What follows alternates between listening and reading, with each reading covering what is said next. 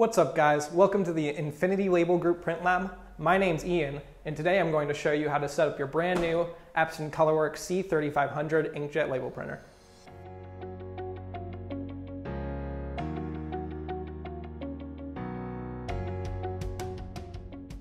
First things first, you're going to want to open your box. Included inside is your printer, a power cable, maintenance box, a set of ink cartridges, and a label catch tray. Also included is a software installation disk, but you won't want to use that. That contains old software. You're going to want to go to infinitylabelgroup.com and install the latest drivers and software. To begin, place your printer on a flat, stable, and vibration-free surface. Take one end of the power cord and plug it into the wall, and the other end into the printer's power outlet. If you're going to network this printer, now is a good time to plug in the Ethernet cable as well. After plugging in your printer, it is time to turn it on, install your maintenance box, and ink.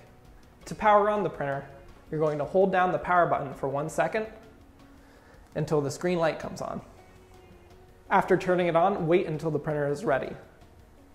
It should show the ink light on and this middle status light should be blinking. You're going to start by installing the maintenance box. The maintenance box comes with foil on the back side. Do not remove this foil.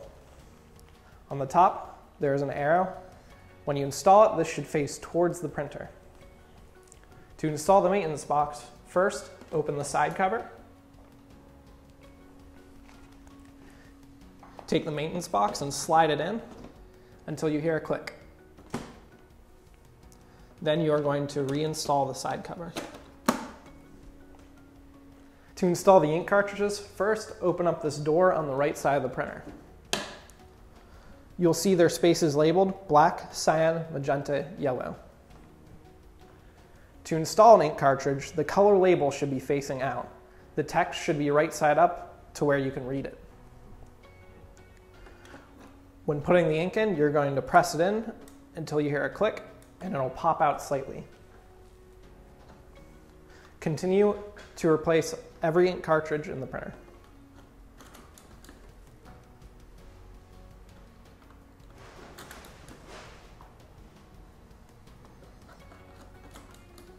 Once every ink cartridge is inserted, you can go ahead and close the door.